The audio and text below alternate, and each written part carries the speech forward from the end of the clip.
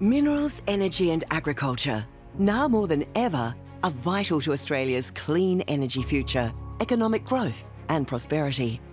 Since 2016, Geoscience Australia has applied science and technology in new ways through the Exploring for the Future program. By gathering, analysing and interpreting data at unprecedented scale and detail, we're building a national picture of Australia's geology and resource potential. So, how do we know where to look for potential minerals, energy, and groundwater buried deep underground? By analysing rock samples and water percolating up from below, measuring signals from earthquakes and lightning strikes, surveying and mapping with aircraft and seismic trucks. We are looking, listening, monitoring, and recording what the Earth is telling us. We look across the country and image hundreds of metres below the surface to create a picture of what lies below our feet, resulting in a new generation of maps and data. Each set of data we acquire is valuable in itself, but when we overlay the data sets together in a way no one has done before, we start to see the full picture and gain a greater understanding of where we can make new discoveries. Australia has become a world leader in the science and innovation behind resource exploration.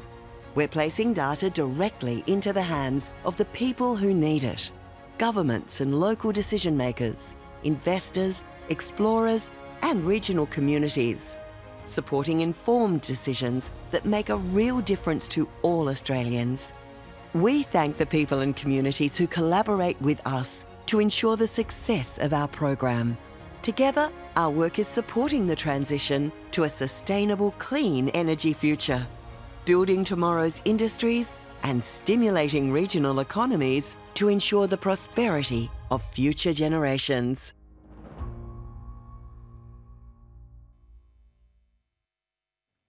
Well, welcome to the second session of day two of the 2024 Exploring for the Future programme showcase. I'm Susanna McFarlane and I'm the director of the repository here at Geoscience Australia. And it is my pleasure to be moderating this next session titled Quantitative Characterisation of Australia's Surface and Near Surface. I'd like to start this afternoon's session by acknowledging the Ngunnawal and Ngambri people as the traditional owners of the Canberra region where I'm based today who have lived and shared culture in the area for many thousands of years. I pay my respects to their elders, past and present. I also recognise our First Nations partners and traditional custodians of the lands that we have accessed throughout this programme. And finally, I extend a warm welcome to all First Nations Australians joining the showcase today. From this morning's session, we heard presentations from teams who mapped and characterised the Australian tectonic plate at depths from a few to many hundreds of kilometres using passive seismic, magnetotellurics, and Xenocryst datasets.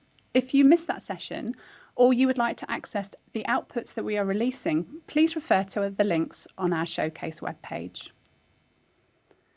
The work that we are showcasing was only made possible through extensive collaboration, and we sincerely thank all of our collaborators for their valuable contributions. During this session today, you're going to hear presentations on characterising Australia's surface and near surface using airborne electromagnetics, surface geochemistry, and also mapping of heavy minerals. Significant components of these datasets were conceived and rolled out as part of the Exploring for the Future programme, and as you are going to hear throughout the session, they have provided powerful new insights for exploration and also natural resource management. As in the other sessions, there will be a questions and answers session following the three presentations. So please ask questions of all our presenters by using the Q&A panel at the top of your screen. Our speakers this afternoon are presenting on behalf of a large team, and that includes many scientists, administrators, and other professionals who have all contributed to the work being showcased. If they can't answer your questions, they'll be very happy to take those on notice. And you can also submit questions via our email, eftf at ga.gov.au. So our first speaker for this session is Dr. Anandaroop Ray, who will be talking about AusAEM, the national coverage and sharpening near surface imaging. Anandaroop, or Anand, is a senior geosci- uh, geophysicist interested in applying mathematics to subsurface imaging. Anand has worked internationally across industry, academia, and government since 2007. Over to you, Anand. Today I'm going to be talking about the AusAEM program, uh, particularly some of the more technical aspects related to the imaging of the Australian subsurface. Um, this is a labor of love for many people, and in particular, I would like to talk about my colleagues Yusen Cooper and Rusty Brodie, without whom none of this would have been possible, and of course, without the support of all of these people. And I'm not sure I've gotten everybody on there, and if I haven't, I apologize. But as you will see, this has been a monumental piece of work. And of course, I am Ananda Ray, also a geophysicist at Geoscience Australia. Um, so first of all, let's get to the uh, Kimberleys. And um, it is a unique and wonderful part of Australia, and if you've not been there, I do urge you highly to get there. Um, it is an ancient landscape, and the bones of the earth express themselves as surface geology. Um, these rocky landforms are curved and gnarled, and on top of which there's this marine ecosystem which is absolutely unique. It is a wonder of the world. But as I said, there is a surface expression of geology. And if you were to follow the surface expression deeper into the earth, you would see, uh, as you see on the bottom right there, that down to about depths of 400 uh, to 600 meters, we have these curved um, structures that make themselves evident as you're looking in 3D into the earth. Um, and we're able to do this through the AusAEM imaging that uh, we've done in the Kimberley area of Western Australia. Now, if we were to go about 1,000 kilometers south to the Esperance region in um, Western Australia again, uh, you'd see that um, the surface geology is perhaps a little less spectacular. However, this area is no less spectacular because OD6 minerals have found this highly prospective rare earth element deposit uh, hosted within clays. And I've highlighted these two lines from the AusAEM data set, again, at the uh, bottom right. Uh, this is AusAEM 20, which they used to be able to identify this extremely exciting prospect. Now, if we travel then uh, a few thousand uh, kilometers northeast and we get to Queensland and we get close to Tambo, you will see that again the, the surface geology or the uh, surface expression of geology is, is not really present and it doesn't really tell you that the world's largest freshwater aquifer lies underneath. There's the Great Artesian Basin underneath over there. And again, Geoscience Australia comes to the rescue because we've carried out a survey in the area. And if you look at this one particular line, you can see the intake beds of the uh, Great Artesian Basin from where recharge takes place, where water gets into the Artesian Basin. And again, these 3D images are of um, subsurface geology down to depths of about 200 to 600 meters, depending on uh, the overlying geology. And this just wouldn't be possible to get an idea of if you had satellite imagery or if you were looking from above. So um, no matter what your application, whether you're trying to preserve an ecosystem in the Kimberleys or you're trying to do deep basement mapping, or whether you're doing rare earth element exploration hosted in clays close to Esperance, or whether you're trying to make a conceptual model of the uh, Great Artesian Basin. And that's something my colleague Dr. Uh, Nadège Rollet will be telling you more about as well. Um, Geoscience Australia has you covered uh, with um, airborne electromagnetics. Now, we can do this almost all over Australia. And um, you can see a little bit of spacing between the lines that we have over there, and that's because they're 20 kilometers apart. And we have collected over 300,000 line kilometers of 20 kilometer space data. And, and this is really an unparalleled feat the world over. And uh, just for some context, and because we're in Australia and we have to go to the moon and back, um, the average distance to the moon is about 384,000 kilometers. So if you put together the uh, 20 kilometer space data as well as the uh, more densely spaced infill data, um, yeah, we, we have gone the distance. And at the bottom right are two imaging codes that we have used to do this. So not only do we collect the data, but we process and invert it ourselves to make these beautiful images. But how is this done, you may ask? And this is done primarily through aircraft and um, on my right here is a fixed-wing aircraft, and on my left there is a helicopter. But because the details might not be evident in the blue sky that you see over there, because we only show you images from good weather, because that's when we like to fly, um, I've done a bit of an animation for you. And you can see a transmitting current loop around the fixed wing aircraft, and it's towing behind it this red bird. And for the helicopter systems to your left, the entire transmitter receiver assembly is stowed underneath uh, by the helicopter itself. And there's a power source right there, but you might not be able to see it. Um, this is illustrated better in the next schematic.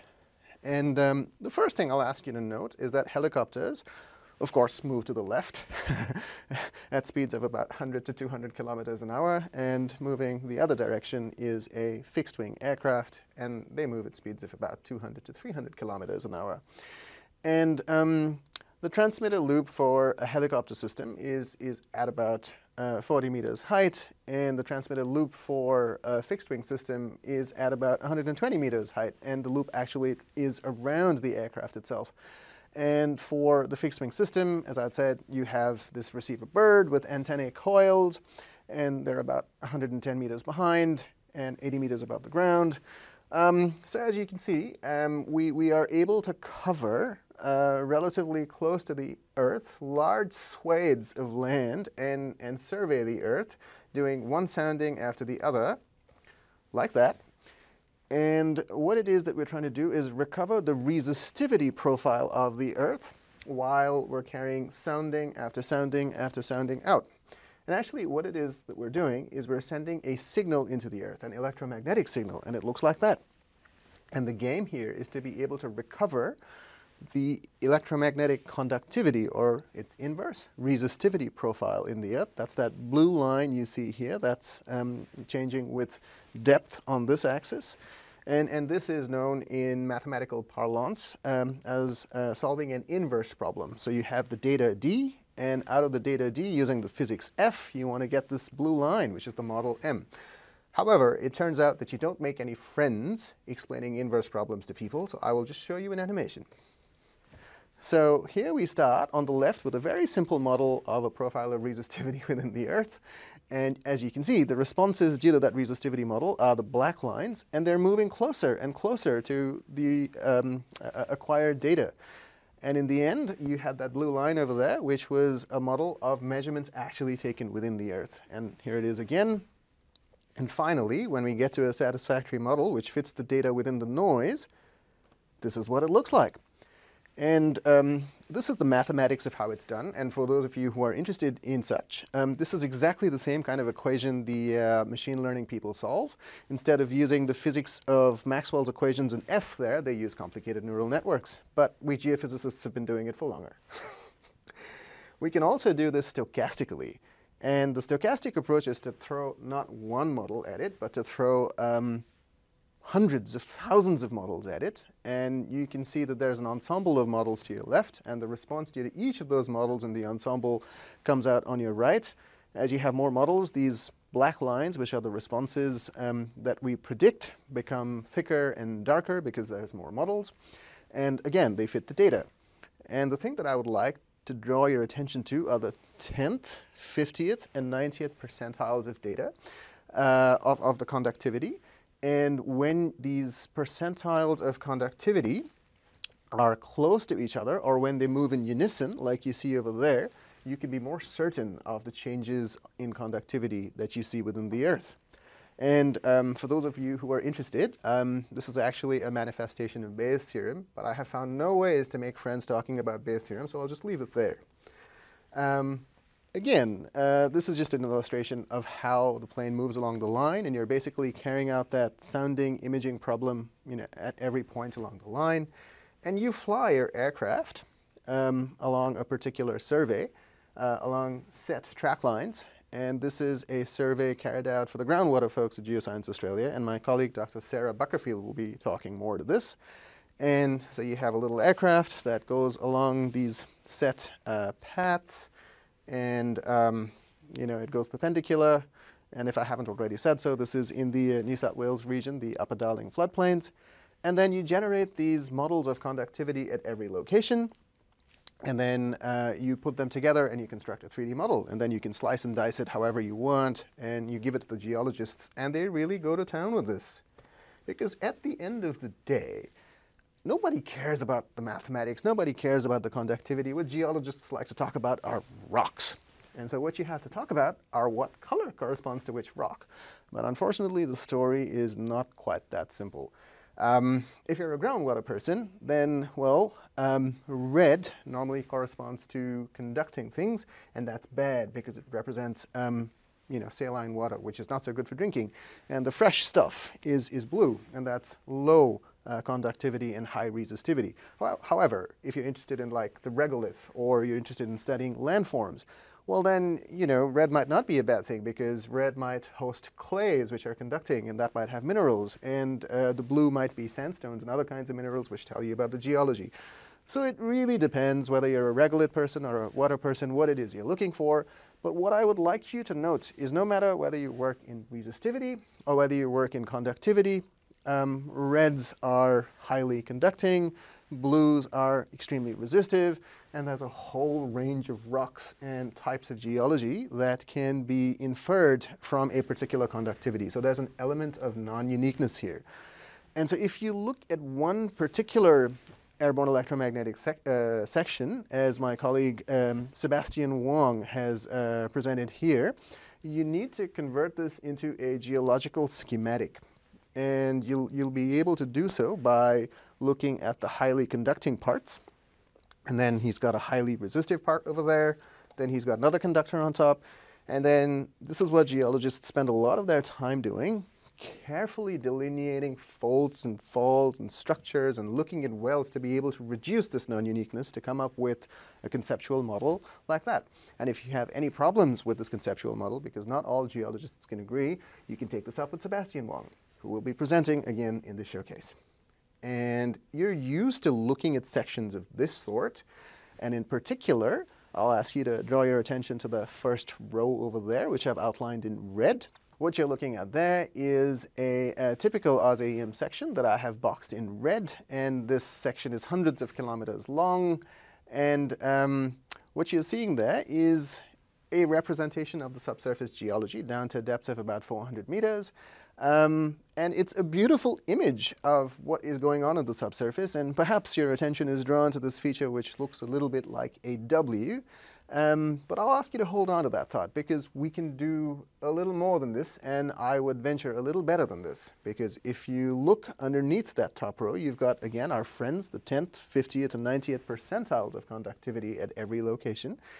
And if we look at these, I can make some judgments at about 200 meters depth, so that's sort of halfway down any of these sections, um, what the geology is doing there and how certain I can be about some of these things. So for example, the green box, I can be relatively certain because if you look at this blue bit over there, it's a repeating pattern in all three percentiles. So that means the percentiles are changing in unison. And that means we can be relatively certain of this. Whereas if we look at this red box over here, except the top where we see a conductor in every percentile, there, there, and there. Underneath it, it's really uncertain. So we're, we're quite certain that we don't know what's going on underneath that top conductor.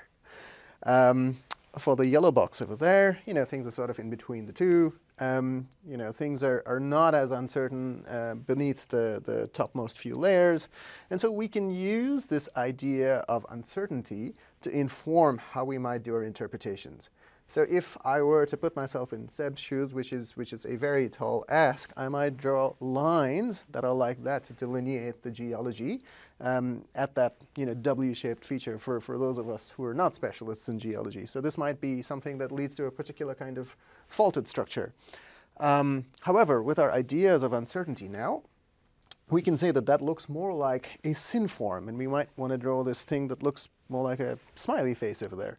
So then we might want to say that since we're relatively certain of this structure and we didn't have that idea of uncertainty looking at any one image, we can now reformulate our interpretation to put that synform up on the AusAEM imaging that we're used to like that. So this has tremendous implications for the AusAEM imaging because it means that we can use uncertainty to actually get ourselves out of a pickle because we can make decisions based on more information.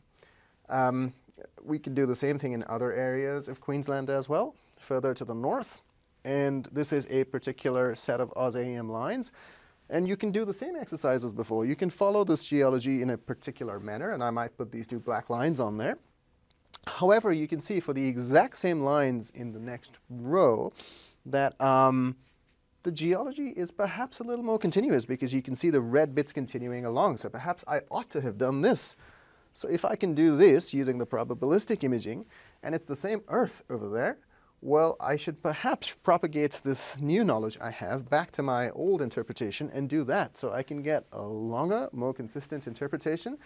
And this brings out two things essentially. How we're not, with airborne electromagnetics, sensitive equally to all kinds of geology. So we're more sensitive to conductors than we are to resistors.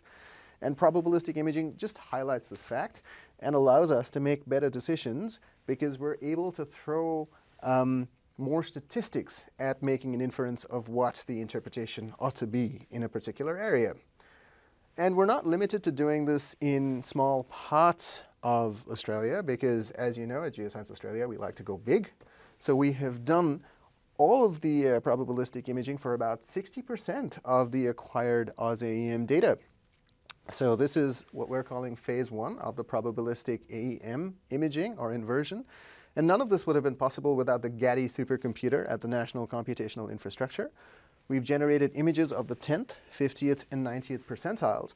And um, you can see that much more detail can be brought out from these images than is possible using only one deterministic image. And this is a world first. Uh, we're not aware of anyone else having done this before. We have used 41,600 CPUs at a time for up to two and a half hours. And we've done this various times, as I've pointed out over there, with, with our testing as well. And you can download all of this at uh, these URLs shown down there. And um, you can also look at this in the EFTF portal. You first have to go to our portal at portal.ga.gov.au, and then you have to click on layers there. And once you click on layers, there's a next step where you click on 3D layers. And once you click on 3D layers, you'll get another menu which says, well, what do you want to do with it? What are some various 3D options? And you can leave these untouched at the start. Um, you can then get to airborne electromagnetics, and then you can select a data set of your choice, such as the uh, probabilistic inversions here from the Eastern Resources Corridor. And then, of course, depending on your operating system, you might get the Hourglass of Doom or the Spinning Beach Ball of Joy, uh, give it a few seconds and do this on a beefy computer because there's, there's a lot of data that's being rendered over here. We haven't pre-rendered this for you. And then you'll get an image like that. And I really didn't do very much more besides just follow the, the instructions that I screenshotted while making these slides. Do use your mouse buttons carefully, and it might take a little getting used to if you're not a geological interpreter. Use your left button to drag, use the wheel to zoom in and out, and use the third mouse button to, to pan, or if you've played Doom like me, we call this strafing.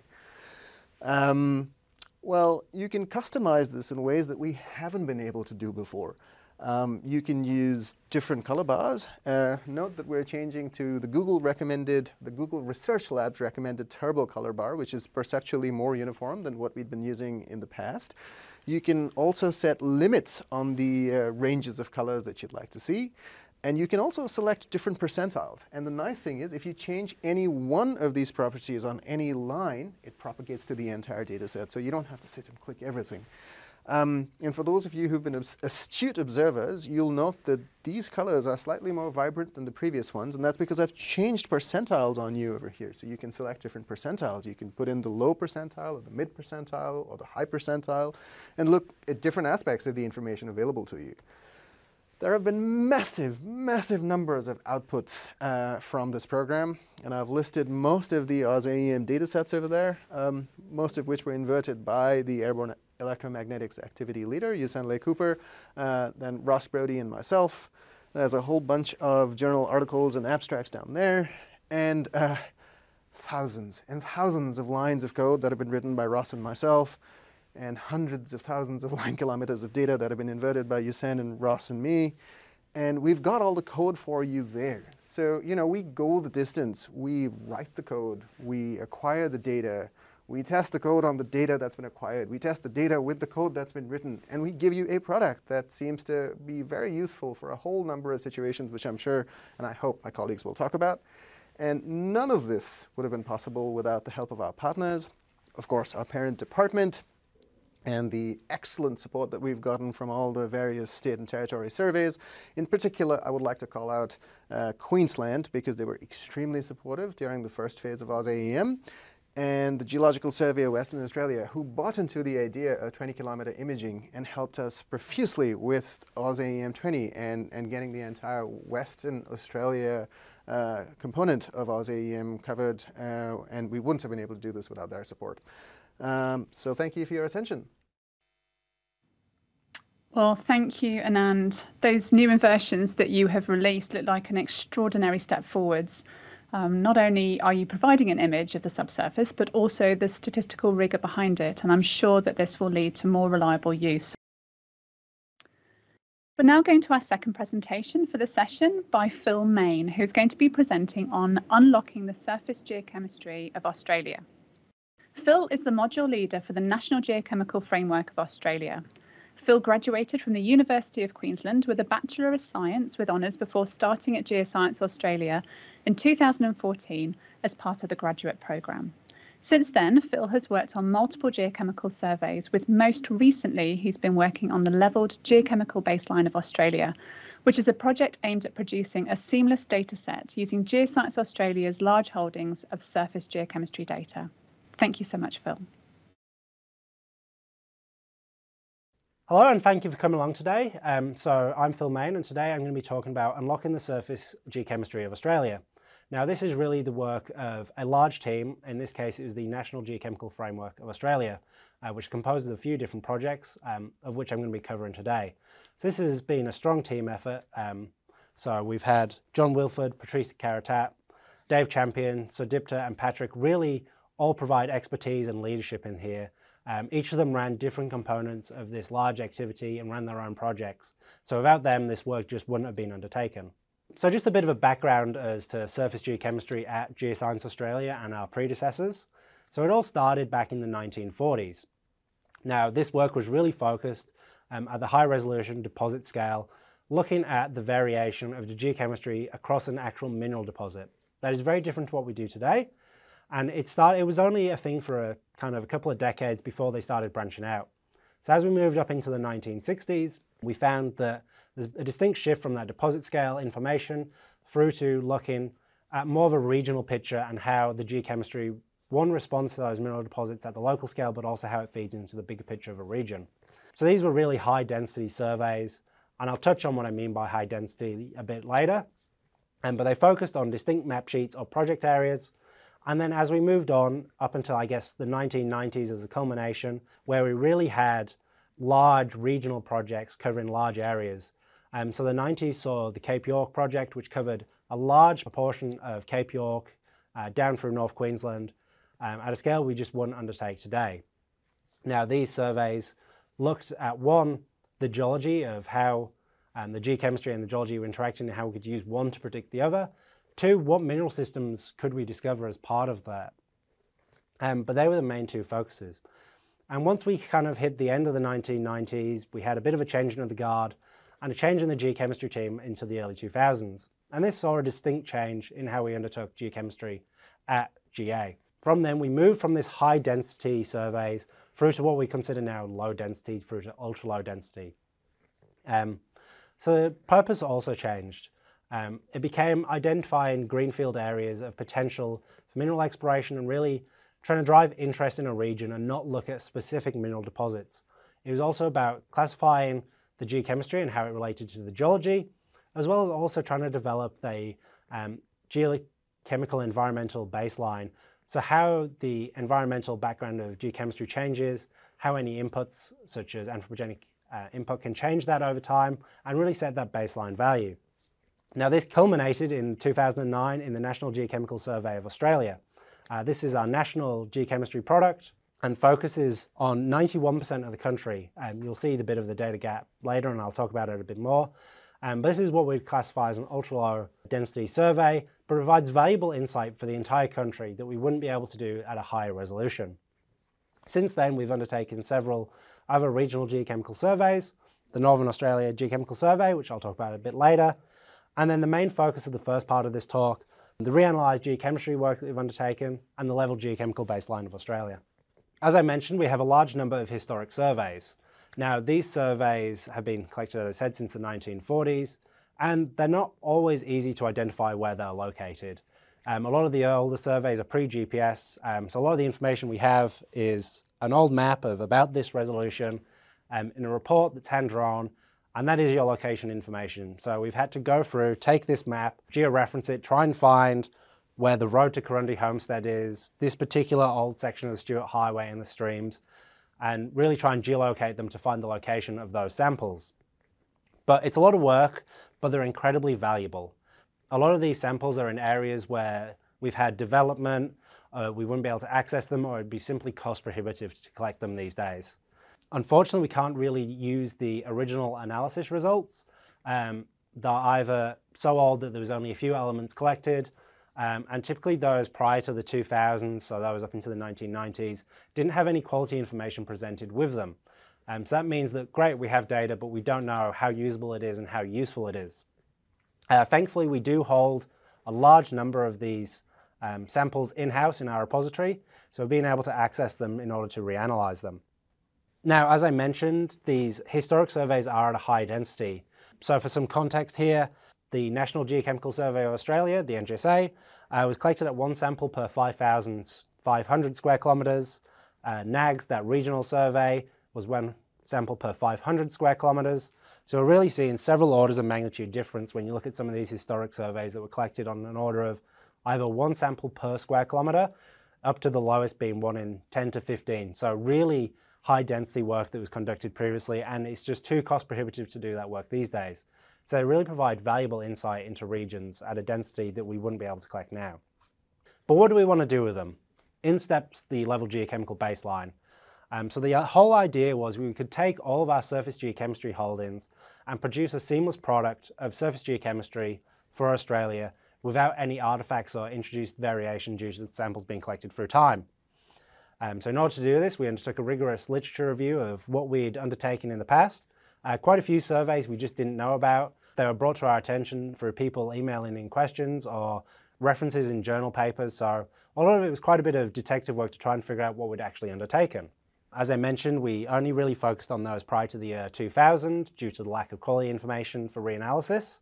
Unfortunately, we couldn't locate everything. Those samples in the 1960s proved particularly difficult to locate, and that's mainly due to the fact that they use non-unique sample numbers. It's really difficult to find sample number one in a sea of sample number ones when there's no other project information. There was some information missing, so as you can see by these red dots, they're the samples we just couldn't locate within the surveys um, that we did reanalyze. So it's mainly focused in two main areas, um, Georgetown in this A figure and in B, um, the Northern Territory side of that survey region there. But we have been able to bring in the old data to complement the new reanalyzed data in order to really gain as much information as possible. Now it might sound as simple as just combining all these data sets together to produce a product, but it's not. If we look at the Southern Thompson Geochemical Survey, for example, um, this was two surveys that were collected over two different time periods. They were separated by a few years, but the sampling methodology, some of the sampling teams were the same, and the analytical methods were identical. But when you get into looking at the data and using more statistical analysis of it, in this case, we'll talk about principal component analysis. Um, so that's a dimensionality reduction tool. We take our 50, 60 elements and we compress them down into groupings, and these groupings explain the variance within the data set. So the most variance is explained by principal component 1, followed by principal component 2, etc., etc. And when we plotted up principal component 1 and principal component 2, we found the main source of variance within the data sets was actually that the survey that were collected as part of. And this is the analytically introduced variation. So using a different instrumentation, different labs, means that we get these subtle differences within the data sets, which actually can have significant impacts on, one, the interpretation of the data, and two, using them together. So we applied a few different leveling methodologies in order to try and correct this. And thankfully we were able to, which paved the way for really building level geochemical baseline. So what level of methodologies did we settle on? Um, there's three main approaches that we took. The first is reanalysis, which is as simple as it sounds. You take your old sample, you reanalyze it, and you compare the old with the new, and you use a linear regression in order to correct the data. The second is to use the standards that we run as part of our data sets, Um, this is slightly less desirable as a single standard as it's only one point in the data. Um, so if we say our point is over here, that means that any deviation from that one-to-one, -one, if it isn't a parallel line, we're going to see some shifting at the higher and lower values. And I guess the most preferred um, would be a multi-standard approach. So it's taking the same standards that will run as part of both uh, different groups of data, taking the median and then plotting a linear regression through them in order to get the correction factor across a range of concentration values. Because of the density of these um, old surveys, when we reanalyzed them, we just couldn't plot them as a whole country. Was just a sea of black dots as we tried to display what information was there. So for the reanalyzed data, when we've released it, each of the surveys or map sheets has been released as an individual product. So you can flick through each individual element in order to actually look at the data without having to open it up into ARC or QGIS and really interrogate it yourself. All of them are classified based on Tukey's exploration principles to highlight areas of interest, and they're all overlain on a kriged background in order to draw the eye to those areas of interest as well. So, the current extent of level geochemical baseline, um, it's approximately 12,000 samples now in scale. Um, it's largely focused in Northern Australia. Um, that's because clearly a lot of the old BMR people enjoyed the tropical north, um, so a lot of the old focus was there. But we do have some surveys from the southern states and quite a few from around Canberra. Obviously the glaring gap is this WA section into South Australia. That really marks a gap in the National Geochemical Survey of Australia. That's something we haven't been able to really fill at all. It's an ongoing gap and hopefully in the future we'll be able to fill it. But as part of this work, we did make several internal project standards which allow us to level the data. Now these project standards are available if you'd like to contact us to get some, which means that we can try and bring in any um, surveys you undertake and bring it in and level it together to really build a picture of Australia and the landscape. Now this is just the surface uh, geochemistry, the regolith side of things or the stream sediments. Um, John and Patrice took this a step further. So they started by expanding the coverage. Um, we don't just hold surface geochemistry data, we also have a lot of rock geochemistry data which covers a significant part of the country. Um, obviously this includes core, and various other dredge samples, seismic transect samples. But in this case, they just focused on the surface rock samples that had been collected. And this really helps to fill in the coverage. Even if we compare to the previous map, we can see a significantly high density of sample points, um, particularly in WA um, and up into the Northern Territory as well, to really infill what information we have, but also diversify um, the type of information we have. Before, when I was talking about it, it was just surface regolith information, and now we're including rock. And the reason for that is John Patrice really wanted to predict the surface content of major oxide elements across the entire country. And in order to do that, you need a diversity in your material type in order to truly classify the surface. So how did they do it? Well, they used machine learning in this case. They took the data that I presented before, overlaid it on a series of different data sets used UncoverML, which has been developed here at Geoscience Australia, and using the National Computational Infrastructure, um, has produced predictive maps for each of the major oxides across the entire country at an 80 meter pixel resolution. But before we can get there, there's a bit of data filtering and really boring work that needs to occur first. And that's really because whilst regolith data may be somewhat homogeneous at a, a scale, rock data definitely isn't. Um, as you can see here, it can be really difficult to ascertain where the sample was collected from. Geologists don't really want to collect a sample of the bulk rock. It's usually pretty boring. Um, they like to find the interesting thing, whether it's a vein or an intrusion, and really get that information. But you can also end up with multiple points in a single small area, which is really problematic when you're trying to undertake machine learning, which uses a variety of data sets such as satellite imagery. When you have all these points clustered in a small location, we can't differentiate them. So they needed to filter out those points one, so there was only a single point per pixel of um, the input data sets, but also try and get the representative sample. So this involved a few steps in terms of overlaying the geology and the points to try and check the chemistry, removing any points that were unfeasible, so say any major oxides above 100%, it's just not possible, so they remove those as bad data, as well as try to correct any um, GPS drift location issues by, again, checking that geology, the geochemistry to try and see if it made sense. And I mentioned them a couple of times now as these input data sets that we use to help the predictions. These are what we call the covariates. And we've used them to predict each of the major elements. We set a list of what we use for the model prediction, um, but the algorithm itself determines the weighting of each of these. So it will change for each of the different major oxides. And for some, Uh, climate may be the biggest driver. For others, it may be the gamma potassium thorium ratio that really drives them. But these are all national products covering the country at an 80 meter pixel resolution. So this is a Landsat single band. We have the surface geology. And finally, as another example, the thorium potassium ratio from radiometrics. So all of these are stacked together and are intersected against the points in order to really try and get a good prediction across the country. So I guess the good thing, the predictive maps. So for each of the major oxides, we've produced um, one of these predictive maps. In this case, we've got calcium, um, which shows the distribution even in areas where we don't have any data at all. And that's really thanks to those national coverages of those covariates being able to build those training relationships and then predict from there. As you can see, we've also produced a plot of the data, so how it fits. We do see some of the data is, the line here is driven by the outliers. So when you look at the heat density, you can see it really sits more close to that one-to-one. -one. The other thing to note in this particular plot, you can see in these lower values, there's a lot of straight lines, and that's actually just an inherent factor of using some of the older data. It's really the detection limits and the resolution of the data. There's not much you can do when your concentration range is 5, 10, 15 versus a prediction that would be 5.5, 5.4.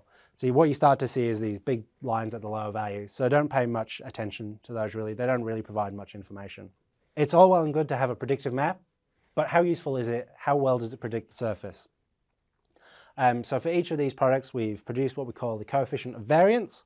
Um, so that is the standard deviation of the predictions divided by the median, just in order to normalize it to produce um, a product that you can actually look at and use in a sensible way.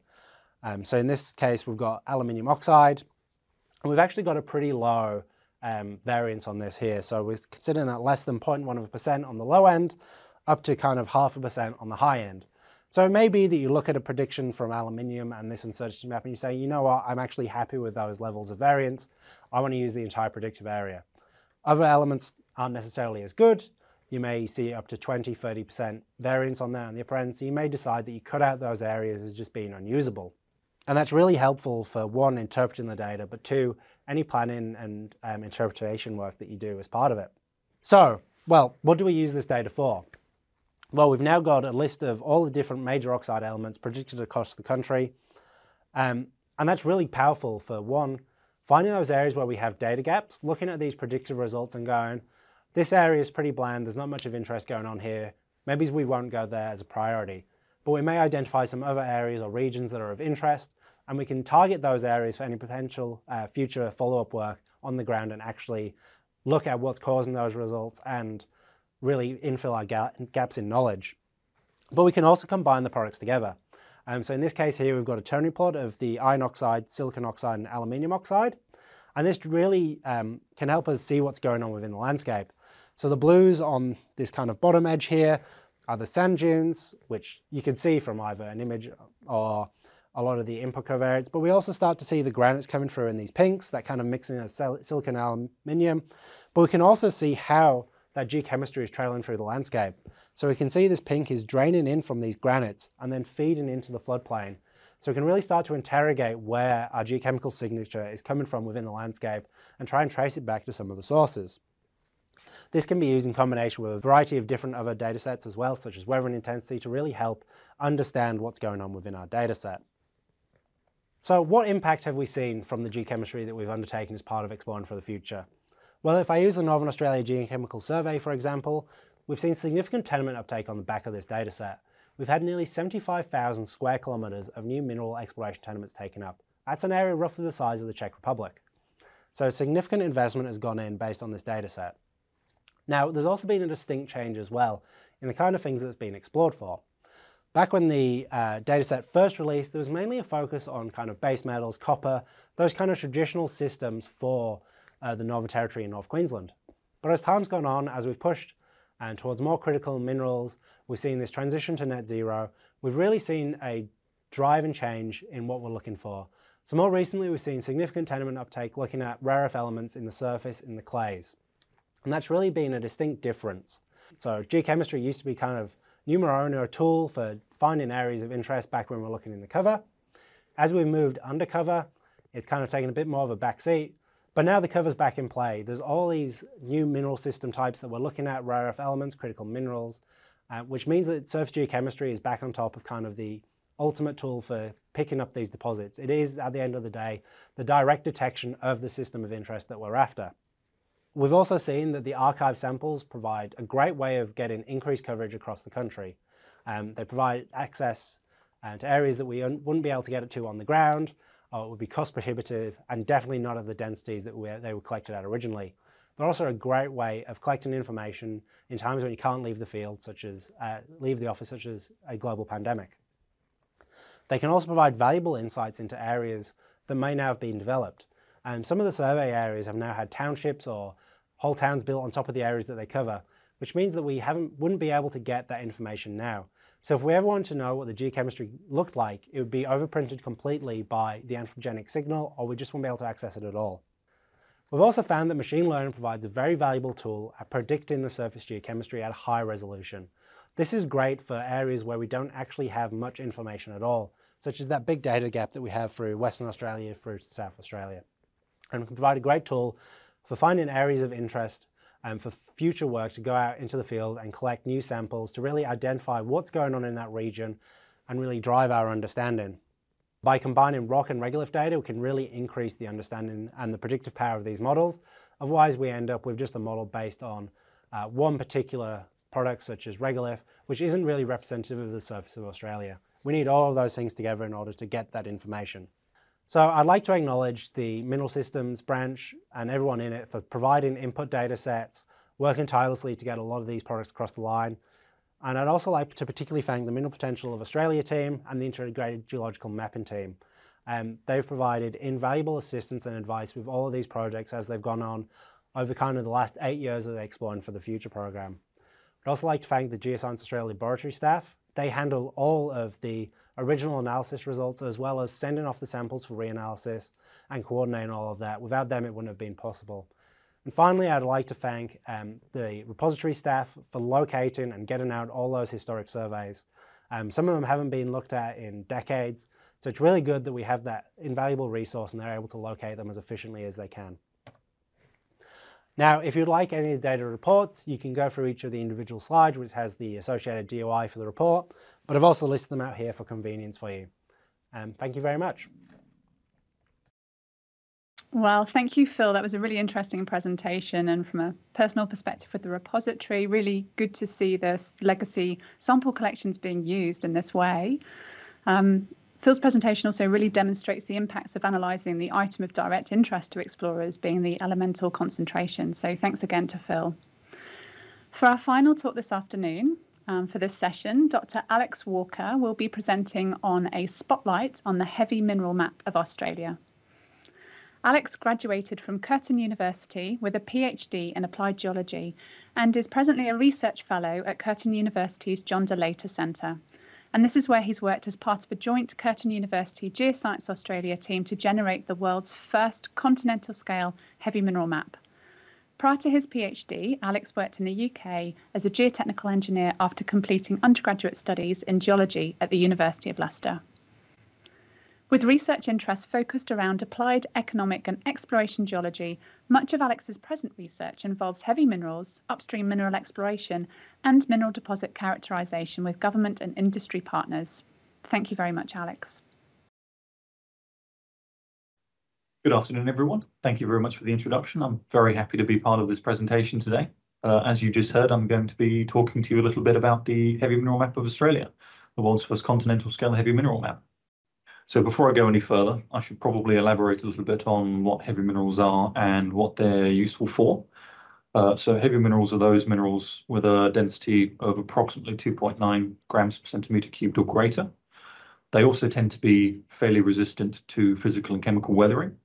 So that means that when their sort of their parent rock, their host rock is weathered and the heavy minerals are liberated, they have a tendency to survive that weathering process and also survive transport from that original location downstream uh, into a, a sediment trap or a heavy mineral trap. Now, the reason they're actually useful to us is because certain combinations of heavy minerals can be indicative of specific geological settings or processes, whether that's contact metamorphism, hydrothermal alteration, etc., and also potentially mineralization, which means that when they are liberated from their host rock, they can be found by us downstream later on and actually act as a vector to mineralization. And that use of heavy minerals is something that's been refined into pretty much an art form um, in countries like Canada, uh, especially by Canada's Geological Survey for their GEM program, which was mapping footprints on regional and deposit scales around mineral deposits. We've also used it in Australia, uh, but not quite to the same extent, uh, mostly for things like diamond exploration. Now, up until this point, there was no continental scale public domain pre-competitive data set on the natural distribution of heavy minerals uh, anywhere in the world, um, and certainly not in Australia prior to the HMMA. Uh, so this is something that the HMMA was designed to address. So the Heavy Mineral Map of Australia, or HMMA, is the solution to this, and it's it's a joint Geoscience Australia Curtin University project to determine a heavy mineral baseline across approximately 81% of Australia. And the heart of the HMMA is a collection of more than 1,300 samples of catchment outlet sediment from nearly 1,200 catchments across the country. And all of these were collected quite a few years ago now as part of the, the National Geochemical Survey of Australia, which in itself was remarkable as Australia's first national scale geochemical survey. So the HMMA has really been quite a long time in the making. The, the visions and the methodologies ultimately that went into the HMMA uh, were themselves underpinned by a pilot project conducted by Patrice de Caritat, formerly of Geoscience Australia, uh, and Brett McInnes of the John de Laeter Centre. So the samples and the methodologies have all been sort of sometime coming, and there's been a fair bit of thought that's gone into them before for the HMMA. Given the scale of the sample set we were working with, um, and the need to deliver samples, process samples and data in a reasonable time frame, we had to develop a fairly novel workflow um, opposed to the relatively slow traditional heavy liquid, heavy mineral processing uh, technique that is fairly widespread. What we wound up doing, um, and just to highlight on the figure here, is we wound up taking the 75 to 425 micron fraction of each sample. We extracted the heavy minerals from that using centrifugation and uh, liquid nitrogen and then mounted those in epoxy in 25 millimeter mounts, carbon coated them, polished, etc., and then analyzed them via automated mineralogy. A couple of the unique features on our samples, uh, you can actually see in that picture in the top right of the slide there. So in one row, you can see a, on the analytical surface, you can see a black 3D template. That's actually a, a navigation feature. It's a 3D printed plastic shape that we embedded in the surface of each mount to allow for easier navigation when it came to analysis. On the flip side of every sample as well, we have a, a sample ID label, and that contains sample ID details, but also a scannable QR code in the middle of it, which will take you to uh, a Geoscience Australia hosted metadata page for that sample. So you can link it straight back to any relevant metadata. In terms of the automated mineralogy, again, point counting probably not going to cut it in the timescale we needed the data. So we wound up using uh, the John de Laeter Center's state-of-the-art TESCAN integrated mineral analyzer, essentially a very high-spec uh, SEM with a few additional features on top. And we use this to analyze the mineralogy of every single sample. Our typical output from this instrument is that image in the middle there, uh, where you can see the outline of the 3D printed template, um, but you can also see a false color panorama of the sample surface, where every single one of those colored uh, areas represents an analyzed grain uh, with a mineralogy assigned to it, and that mineralogy corresponds to a particular color. And we've actually just got an example uh, legend there just below the figure showing you which colors correspond to which minerals. So we put out something like this for every single sample, uh, in addition to also collecting a wide range of other data as well, grain shape parameters, all of that, uh, plus some EDS data as well. Obviously, that was necessary for the mineral classification. Uh, so for those of you who are really interested in how that was done, I'll just sort of delve into it very briefly. So the TIMA itself can be operated in a few different scanning modes, for which basically determines you know, how it's going to collect a backscatter image off the sample and how it's going to collect that compositional EDS data to determine mineralogy. Now, for the HMMA, we determined that dot mapping specifically provided a really nice trade-off between resolution, quality of data, and the time taken per analysis for our sample set of 1,300 plus samples. Uh, and we used um, a backscatter resolution of 3 microns with an EDS resolution of 27 microns, which worked out pretty well uh, for characterizing a grain range of about 75 to 425 microns for our sample fractions. Now, a minimum of one EDS point is collected for each grain, um, but ultimately when it's all collected, the TIMA will compare that collected EDS data for an unknown grain and compare it with an associated mineral library and assign a mineralogy to it based on which rules it matches uh, in those definitions. Ultimately, what we wound up with using this technique was a custom mineral library of 163 different minerals, which we had to carefully curate as we went through the lifetime of the project to minimize mineral definition clashes between similar, similar mineral compositions and to minimize any misclassification risk between different minerals as well. So what we've wound up with at the end of the HMA is, of course, several different spreadsheets, CSVs containing a wide range of different properties of the minerals. So we've got uh, observations, the number of uh, observation of a particular mineral in a given sample, um, relative observations where those have been normalized to the total sample population, volume percents of minerals, weight percents, uh, and also median grain sizes. Along with that, we've also provided uh, some data sheets listing all the different minerals within the mineral library, our degree of confidence when it comes to identifying them, and associated properties like compositions and potential environments of formation. What we also produced, which I actually think is maybe one of the coolest outputs of the HMMA, is a mineral atlas for every single mineral and every single one of those properties. So it's a mineral atlas that comes to a total of more than 800 plus pages and every single one of them looks something like this image on the right there, which is in this case is for gahnite, um, and illustrates the distribution of that mineral across the continent. Really fantastic to see. And while obviously the, the overall data set that we've produced is is really, really valuable, really powerful, um, there can also be a huge amount of information and some really, really interesting features in any given sample as well on a totally different scale. So in one case, uh, we've got these really, really interesting, really unusual cassiterite galena intergrowths in single grains.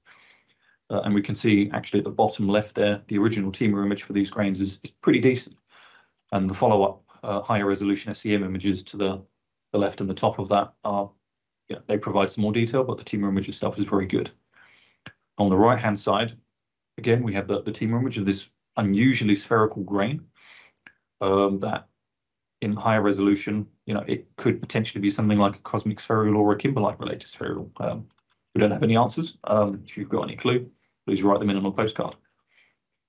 There are honestly quite a few stories and many, many interesting threads that came out of the HMMA as we went along and analysed these samples. And I think probably one of the, the most powerful ones that we found actually related to gahnite, which I, I showed previously. But gahnite is a it's a zinc spinel. It's relatively uncommon and it's interesting to mineral explorers in that in certain mineral assemblages, it can be indicative of metamorphosed base metal mineralization. We look on the figure to the left here, which is the distribution of gahnite across Australia. We can see that it is focused in particular areas. And what's really, really interesting is that we see this high concentration of gahnite around the Broken Hill locality, which is actually famous for metamorphosed base metal mineralization. And within the HMMA dataset, we also see it occurring here at Broken Hill with ecandrewsite in that sample, which is a zinc-bearing ilmenite, also indicative of base metal mineralization, and Broken Hill is actually its type locality. So already, just from one or two minerals, we have these fantastic um, insights into how we can use these these heavy mineral datasets to sort of look at prospectivity across Australia. And that's just one story, really, from the HMA. There are so many questions that we've come up with as we've gone along. Um, they can, yeah, sure, they can be on a sample by sample basis, but they're also simply just possibly features of the overarching data set itself. So if we, rather than look at sort of one individual minerals distribution across the country, if we look at mineral diversity, the number of minerals that have been identified in each sample across the continent, we can potentially see more stories uh, and more questions that should be followed up on. So one question, for example, does mineral diversity vary systematically across the Australian continent in the HMA? And what I've plotted up on the right here is simply a count of unique minerals identified by the TIMA in each given HMA sample, plotted on a map of Australia. And the, the base layer there is topography or digital elevation. And what I think we can see just on the face of this is that we see much hotter colours on the eastern side of the continent, indicating that mineral diversity is probably greater in eastern Australia versus the west. By the same token, if we look at like the far north of Australia, where we have those those cool blues and teals indicating low mineral diversity, is that associated with something like a more humid climate that's prevalent in the north that encourages weathering and destruction of heavy minerals? I don't know. I don't have any answers, but just from looking at this this one feature of the data set, the mineral diversity, we have several questions that are really, really interesting and would be very interesting to answer. So we have this massive data set and quite a few ways you can extract information from it. Um, and, you know, looking at mineral diversity, interesting questions, etc. Um, but the data set itself is, you know, it's 1,300 plus samples in 163 mineral dimensions with a total of more than 140 million individual mineral measurements across the sample set. That's pretty big. Um, it probably doesn't lend itself to easy interpretation via traditional methods like Excel spreadsheets and scatter plots. This was something we had in mind right the way through the project, and we were trying to find a way to get around this and actually easily extract useful information. And what we we hit on was network analysis. So this is uh, a subfield of graph theory, and it's it's been used for social media and uh, I believe counterterrorism things like that. We believe that this is actually a useful way to visualize and explore the HMMA dataset. It's great at visualizing large multidimensional datasets, and it allows ready exploration of associations, relationships, and spatial distributions within those datasets. So on the right-hand side here, we've actually got a network graph of seasons one to eight of Game of Thrones. And every single node in this graph is a character. So we've got the likes of Jaime, Tyrion, Sansa. And we can visualize 47,000 interactions between all of the characters in these seasons and easily extract relationships and interpretations. So if we look at this graph, um, we can see that Tyrion has one of the largest names. And actually this represents the frequency with which Tyrion occurs in the series. So just looking at node size or name size, we can see which, which characters are more common within the series. You can also see a number of lines connecting these nodes or names, and that represents the number of scenes that these characters co-occur in together. So if we look at Tyrion and Daenerys, they're two of the largest nodes there. We can see they've got some reasonably thick lines connecting them, indicating that these characters are both pretty common in the series and they commonly occur in scenes together. Now we also have exclusivity. So again, if we look at Tyrion, and just to the left-hand side, there is a very tiny node for the character Shae. Now that node is small, so it indicates that Shae doesn't show up very often in scenes in Game of Thrones, but her proximity to Tyrion means that when she does show up, it's almost entirely exclusively with Tyrion. So just with those three parameters, size, connection, and exclusivity, we're already extracting a fair bit of data from a large data set in one figure. So we've applied this to the HMMA dataset with our own standalone mineral network analysis app. So this is freely available, hosted by Geoscience Australia online. Uh, I've got a QR code there for those of you who are on mobile, um, so you can just scan that with the camera. Alternatively, if you just prefer a traditional link, you can get hold of these slides and copy that link and put it into your into your browser bar. Um, and it will bring you to a page that includes something like this. Uh, and this is a network graph of part of the HMMA dataset. So the example I've used here, I could talk for like half an hour on just how to use the, the analysis app itself. Um, what I've plotted up here for simplicity is simply a subset of the HMMA data. This is just the sulfides that occur in the HMMA. So just by looking at this figure, we can see the likes of pyrite, pyrrhotite, and chalcopyrite are the most common by virtue of their, their node size. And we can also see that something like bornite there occurs less often, but where it does, it occurs in samples that also seem to contain pyrrhotite chalcopyrite based on its, its proximity to those nodes. On the flip side, you can look at something like lollingite right at the top of the figure there, which has a small node indicating it doesn't show up in the HMMA very often. And where it does, it is exclusively in samples that also contain pyrite. So again, pretty decent amount of data extracted from just one figure on a subset of the HMMA. So I thoroughly recommend everyone goes and looks at this at some point. If you're interested in the, the HMMA and heavy mineral data, you can spend hours pulling apart the data set and you know, downloading subsets that you're interested in we really wanted to maximize the utility of the data set to potential end users, whether it's academia or mineral explorers. So what we decided to do, rather than complete the project and push out the data set in its complete form, we decided to take a staggered approach so we could actually receive and sort of integrate feedback from end users. What we did is in July 2022, we released our first subset, partial uh, subset of the data uh, out into the public. And that sort of comprised just over 200 samples with 140 unique minerals. And that covered the, the Darling Curnamona Delamerian area uh, down in um, the southern end of Australia there. That was very well received. Uh, so we followed that up with a second partial release in December 2022, which covered the Ice of Georgetown um, inlier. So that was 188 samples, so comparable size, but 153 unique minerals this time. Again, our, our mineral data set, our mineral library is, is expanding as the, the project continues. And finally, we had the release of the revised data set um, alongside a workshop in October 2023 in Perth. Um, so this superseded the, the previous partial releases, and that's all, you know, nearly 1,200 catchments, 1,300 plus samples, 163 unique minerals identified, and the, the more than 140 million individual mineral measurements. Um, so we think this actually worked really, really well. And we got some great feedback as well as we did it. Um, so just on the first partial release, you know, we had former exploration geologists being interviewed in pre-competitive review. Frank Bunting saying that you know it's fantastic to see uh, government and the university sector doing this sort of systematic regional scale, continental scale heavy mineral sampling, um, and that it is useful potentially for finding mineralization that hasn't yet been discovered. We've had exploration companies taking up exploration licenses based on um, portions of the HMMA dataset. So in the case of Trinex Minerals, they picked one up in South Australia based on the gahnite. Um, much more recently, we've had the exploration company S2 Resources uh, acquiring exploration licenses in New South Wales, partially on the basis of sulfide mineral observations in the HMMA dataset, which is fantastic.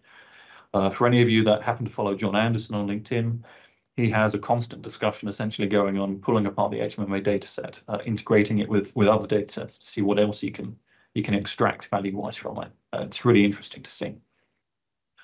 So with the HMMA complete, uh, really the question was where to from here? It's, you know, it's a significant milestone on what has been a very long road that started years ago with the, the National Geochemical Survey of Australia. And its success really should be attributed to a combination of using the mature exploration strategy developed in places like Canada, combining that with novel sample processing and state-of-the-art analytical facilities to actually generate a useful data set in a reasonable time frame. And also the really, really remarkable thing, you know, being able to utilize an internally consistent continental scale sample set. And despite everything I've shared with you today and the release of the whole data set itself, there's essentially, in my mind, an almost untapped volume of data still to be generated from the HMMA.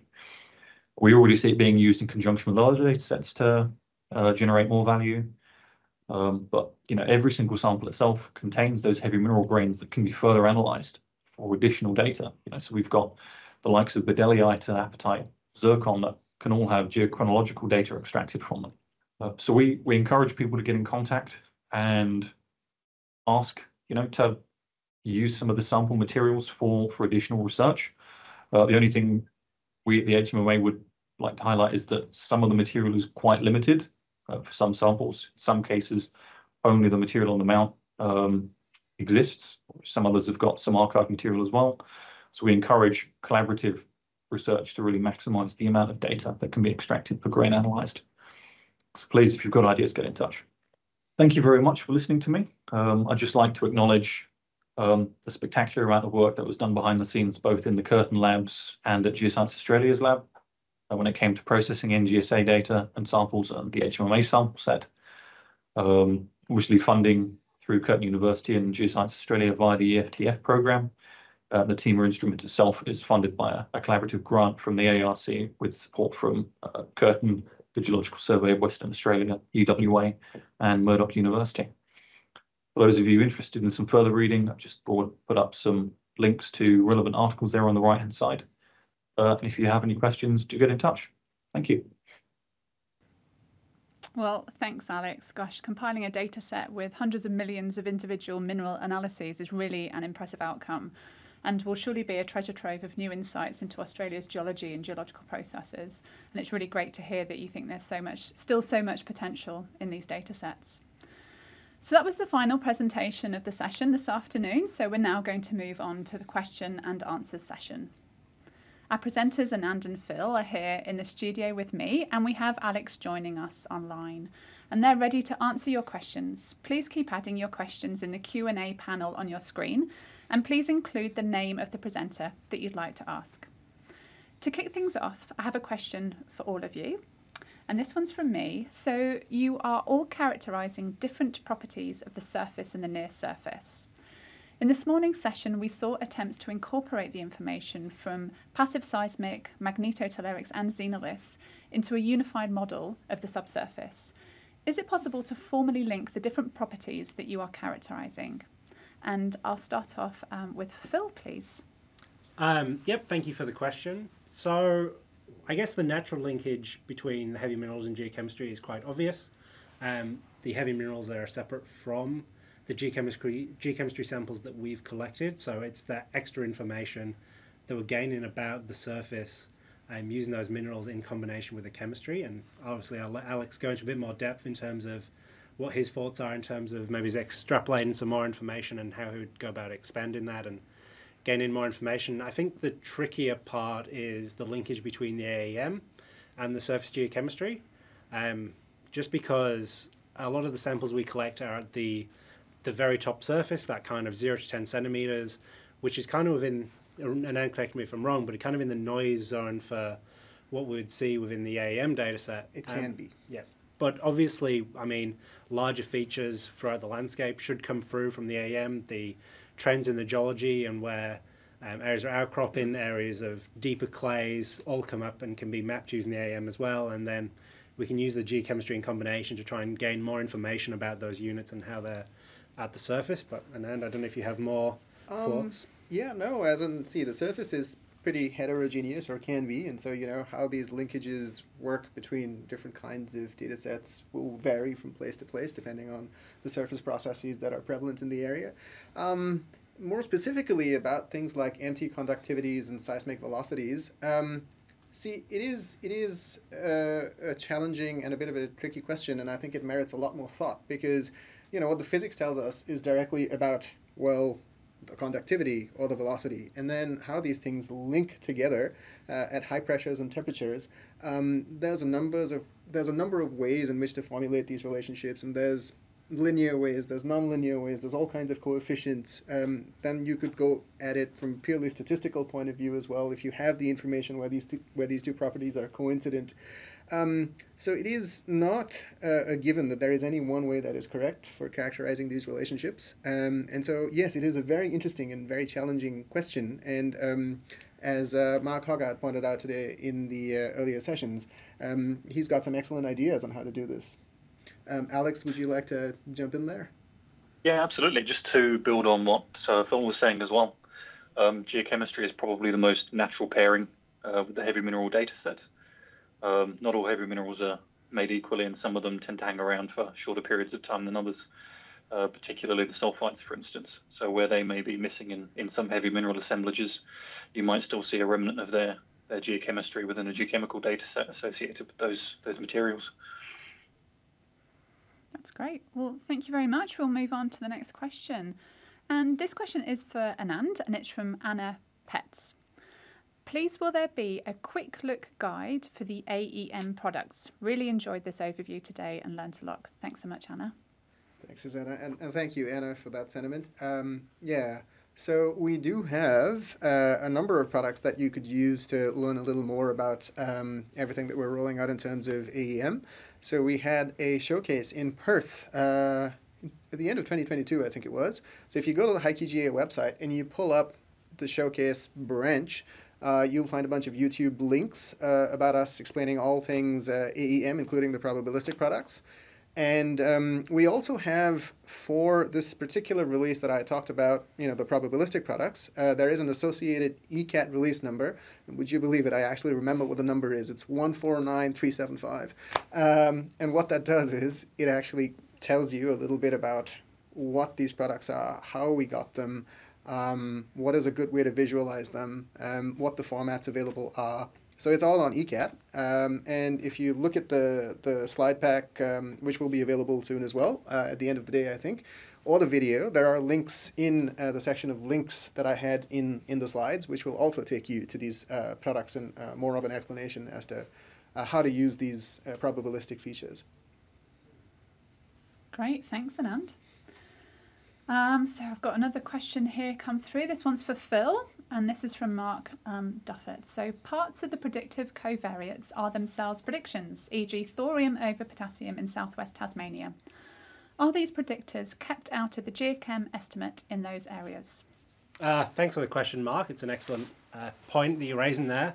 Uh, no, they're not. Um, we use all the covariates that we list for each of the major oxides. Um, so for each major oxide, there'll be a list of which covariates went into it, um, as well as the feature ranks to say how important they were. But there's been no masking of the covariate feature data sets, and that's purely because we're working at a national scale. We can't really afford to start masking a lot of our data sets if there's gaps in the data, because otherwise we just wouldn't be able to produce national predictive maps. Um, obviously, those uncertainty maps can come into play for defining areas where um, the model didn't perform as well. And also, if you have knowledge of things that you don't think are strong predictors, maybe you don't think that um, the predictive uh, product of thorium of potassium over southwest Tasmania is very good, you can just ignore those areas. That's, I guess, the power of having these as national data sets where you can zoom into areas and pick and choose which areas you do and don't trust. Um, obviously, there's the geochemistry to back up some of those areas so you can really test the relationships there to gain your own uh, understanding and decisions based on what you would trust and what you wouldn't. Thanks, Phil. So, question for Alex from Michael Sexton.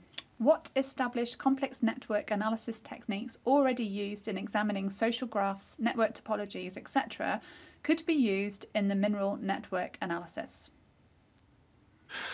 So, thank you for the question. Um, it's one of the more interesting sort of parts of the project uh, for me at least. Um, it's quite difficult to find a suitable technique for a data set like this because it is so highly dimensional and also so sparse in some of those dimensions. Um, network analysis was one of the main ones we gravitated to, I believe. I've also heard of uh, parallel coordinates as well. That might be a potential method. It's not one we explored a huge amount. Um, you know, sort of traditional techniques like dimensionality reduction you are not entirely straightforward to, to apply to a, a data set of this size and dimensionality either. Again, due to its its sparse nature, you've got to be quite careful about how you do it. Yeah, thanks there, Alex. And I'm going to um, just follow up on that question um, and um, pass that on to Phil, actually. Um, or Anand, please jump in as well. Um, if there's um, any possibility of applying network analysis to add value to your data sets. Um, yeah, I mean, definitely there is. Um, we already apply, I guess, dimensionality reduction to a lot of the geochemistry that we do. We have significantly less dimensions than uh, the heavy mineral data set. We only typically operate between, I guess, 50 to 60 elements, and we use dimensionality reduction to try and gain uh, information on the broad picture as to what's going on within a region. But um, network analysis could also be used to try and gain those linkages across each of the geochemical elements and map how they're sitting across the environment and use those subsets to try and gain more information about the landscape and how it relates to the geochemistry, certainly. Yeah, this is a really interesting question where one could begin to work with, and I hate to use this term, you know, big data methods, because very often what you'll mm-hmm. find is that, you know, you want to be doing a bit of an inference and you might know certain things. And so you might have this huge ensemble with various properties um, with many, many dimensions. And you're like, well, if I constrain this bunch of properties over there, well, what does that mean for the rest of the stuff?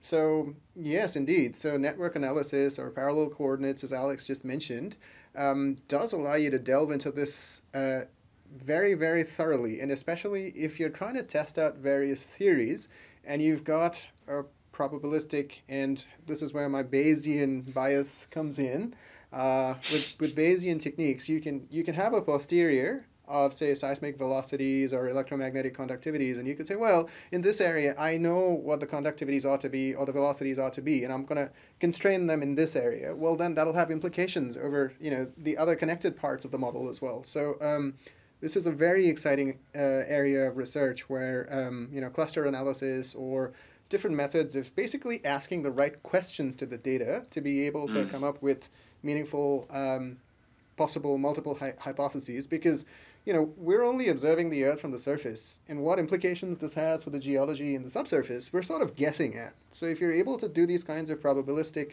exercises and play these games, really, it's a lot of fun, and you can learn a lot. Mm-hmm. Yeah, absolutely.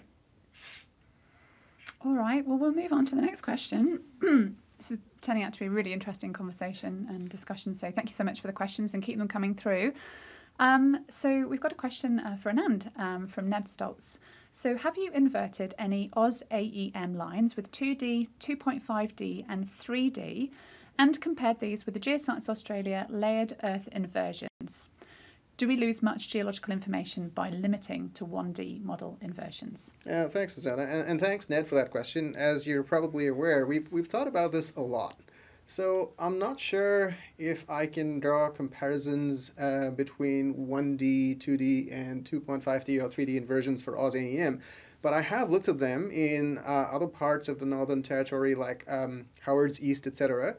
And where we do have you know very high high density um, line spacing, I think they're off the order of 250 meters or so, which you know you typically would need for 3D inversions, um, and we were not able to discern a great deal of difference between um, you know the 1D, uh, 2D, and 2.5D inversions, and I think this boils down to the fact that unless the Earth is extremely jointed or fractured or in some way very very broken up. Um, the way the physics of airborne electromagnetics works is that you know you're you're unlike in the seismic method, say for example, you're you're carrying both your transmitter and your receiver along with you. So you're sort of you know you've got source receiver coincidence. So if that's happening, everything's sort of going down and coming back up. And yes, you are diffusing currents into areas adjoining where you're directly sensing over. But essentially, you know, your sensitivity kernel is limited to what you're flying over. So um, you're not really particularly sensitive to 2D or 3D structure. And we have um, good noise models. We have statistics, like we fly repeat lines, we fly high altitude lines, so we know what our noise is like. So if we're able to fit our data with 1D models, and I'll have to make a distinction here that 1D models imply 3D physics, though, as in even though we treat the variation in the Earth as one dimensional, the physics is fully 3D um, if we're able to fit the acquired data with 1D models, then you know it, it, it does not behoove us to then go to 2D or 3D because we're introducing uh, complexity in the model uh, when we are not required to use that complexity to explain the data. So that's sort of why we've been a little leery of, of 2D or 3D models. Yeah, great. Thank you, Anand. Um, next question. Um, we've got a, another question from Anna. Pets for Phil. So, love the integrated data with oxides, DEM, and the landscape. Do you think there will be an integration of these data sets with mineral potential mapping and even predictive geochemistry? Um, thanks for the question, Anna. So, I guess I'll answer the last part first. Um, so, the machine learning maps that were produced by John Wilford and Patrice are predictive um, oxides for each of those major oxides. So, it's predictive element maps. That's why they've got the uncertainty associated um, with them. We have large data gaps across Australia, particularly in Western Australia, um, and this is one way of being able to fill that information. I know there is definitely consideration of using more geochemistry in with um, the mineral potential mapping work that we do here at Geoscience Australia, and that's something we'll be looking at as we move into our next phase through our RAP program. And I guess it's a watch this space on that side. Thanks, Phil. Um, I'm just going to hop to a question for, for Alex, and I'm going to go to a, a pre-canned one that I have prepared here. So, um, Alex, uh, just a question for myself. The heavy mineral map dataset is, is amazing, as I mentioned before. Um, though the current data cover- coverage based on the NGSA survey um, samples is quite sparse. Um, what data density would be ideal to maximise the application of this method? Yeah, thank you. Um, so this is something that we've thought about a fair bit in the HMMA team. And I think really it comes down to what sort of question are you trying to answer? So, for instance, if you're looking for something very, very high resolution, sort of very short term, short scale changes in mineralogy, that's probably not going to be reflected completely within some of the HMMA catchments. They cover some fairly large areas. Um, something we uh, investigated in parallel uh, with the HMMA was a, a much higher resolution uh, catchment uh, heavy mineral project around uh, Julimar, the nickel copper cobalt PGM prospect in Western Australia. So rather than you know 1,300 uh, samples across the the entirety of the continent, we wound up with you know tens and tens of samples separated by you know less than a kilometre in some cases in the, the catchments around Julimar. Um, and what that lets you do is, and it's it's quite important for sulfide mineralization because again, the further you get away from the source of a sulfide, um, the less likely it is it's going to be around for very long. Um, they weather away pretty quickly. Um, so if the question were sort of trying to map out the footprint for a mineral deposit, you'd want to be looking on kilometers maybe tens of kilometers at most, depending on how thick, big you think that, that vector or that footprint might be. So it depends on the question. Yeah, thanks, Alex. And um, yeah, I've noticed that that particular point has come up a couple of times now. It's asking the right questions and seeing how the how we can manipulate mm. the data, absolutely, or a- acquire the data in the first place to address those questions. Thank you. All right, moving on. Um, another question um, for Anand from Wes Nichols. So, hi Anand, a great and entertaining presentation from a geologist perspective. Has any work been done on utilising the AusAEM data to define groundwater, especially deeper seated groundwater that, than currently being utilised by conventional water supply systems, i.e., from alluvial or upper lithospheric groundwater su- supply between over 200 metres to one kilometre below the surface? Oh, thanks, Susanna, and, and thanks, Wes, uh, for your question. Um, so I'll answer that question in two parts uh, because it'll make life easier for me. Uh, has any work been done using the AusAEM data? Well, yes, indeed. Um, for example, if you consider the Upper Darling uh, floodplain where we've conducted this very high density survey as part of the AusAEM program, uh, it might not be 20 kilometers spaced. Um, it's, it's far uh, more tightly spaced. And yes, as in we have done quite a bit of work um, and I ask you to wait till uh, the next few sessions, Friday, I believe it is, when Dr. Sarah Buckerfield and Dr. KP Tan will be talking about how they've been using the AEM in conjunction with uh, surface NMR uh, data to figure out what might be good areas for managed aquifer recharge. Um, and in general, you know, the, the AusAEM, the 20 kilometer space data, has provided the framework to determine where water could lie. Because, as you know, water, at least the type that we, we like to drink, is resistive, and airborne electromagnetics is good at you know indicating where conductors are. Uh, sometimes, because things in Australia tend to be so old um, and the water can be salty, we, we can detect um, you know water that has a certain level of salinity with airborne electromagnetics. But really, you need to bring in the framework of the geology and the hydrogeology to be able to do groundwater work. Um, and, and this has been done uh, with uh, the 20 kilometer space data as well. Um, but you know, 200 meters to one kilometer below the surface. Now, now that's a bit of a hard ask because it, it depends on the conductivity of the near surface as well. So if you've got conducting near surface sediments, the the penetration depth of the AEM signal is not going to be that deep. Um, but I ask you to look at the data from the Kimberleys, where it's extremely resistive, and we can see down to you know uh, 600 meters depth almost. And so I would say that there is potential for, for you know being able to investigate groundwater systems at that depth in, in the Kimberleys, simply because you know the near surface is so resistive. So um, I wouldn't rule it out. It's just that you know we've collected all this data over you know nearly sixty seven percent of the country now, and we're just beginning to see where we could utilize uh, this AEM data and the conductivity imaging that people like Yusen uh, Ley-Cooper have done um, uh, for a variety of purposes, you know, whether it be minerals exploration or whether it be groundwater. Um, yeah, so I, I wouldn't rule it out, but it is dependent on the geology of the area. Thanks, Anand. Um, Alex, another question from you from Mark Duffett. Alex, which mineral will end up on the critical metal throne? Thank you for the incredibly difficult question. I, oh, who knows? Obviously, it's it's not looking great for nickel or lithium at the moment, but their time will come back around again. Um, yeah, I couldn't say. Fortunately, the HMMA you know covers about 160 different minerals, most uh, several of which are associated with you know different deposit styles. So I think you could probably hedge your bets and keep an eye on all of them. Thanks, Alex. Um, all right, I'm going to hand this one to Phil. Um, so, um, great presentations. Um, can you use the network analysis at the national scale to infer relationships, associations at the deposit scale? For example, for potential byproducts. Wow, that's, a, that's an interesting question there, Heather. Shame that Alex wasn't first up here because um, I guess a lot of the heavy mineral stuff would be more of an indicator.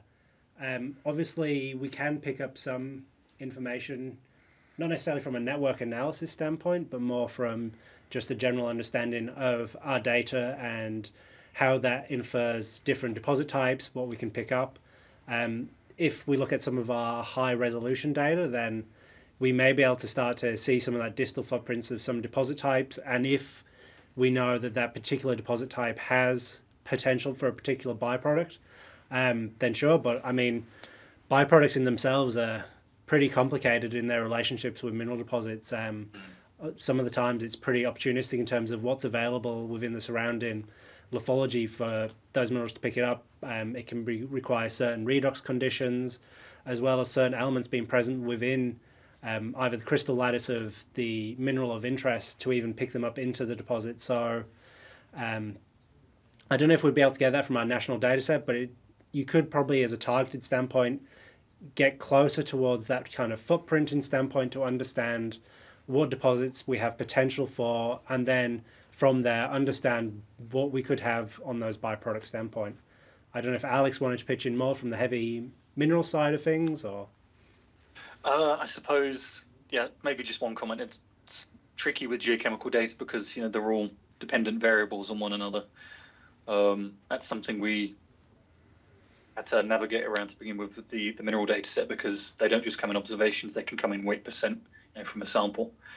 Um, and with every, you can obviously do transformations to, to render those variables independent, but you, with every sort of transformation step, you get further and further away from your original data set. I don't know, maybe just network analysis wouldn't be the most natural pairing for, for geochemistry. Um, I'd like to see it tried though. Good luck. well, Luke, um, this has been a really informative question and answer session. Um, unfortunately, I do have to draw things to a close. I'd like to say thank you again to our presenters, Anand, Phil, and Alex, and thank you to everyone who's attended today's session and submitted questions. There is still an opportunity to ask further questions or to get in touch with us through our email address at eftf.gov.au. I will correct that. It is eftf at ga.gov.au. The showcase will continue in around about 30 minutes at 3pm local Canberra time with our next session, Maps of Australian Geology Like Never Before. Remember that the link for this session will also work for that next session. And if you missed anything from today's session or would like to rewatch something, the recordings will be available in the coming days and they'll be available through our showcase webpage, ga.gov.au forward slash showcase. Um, thank you again to our presenters. Thanks to all of our um, participants in this afternoon's session, and we look forward to seeing you again shortly.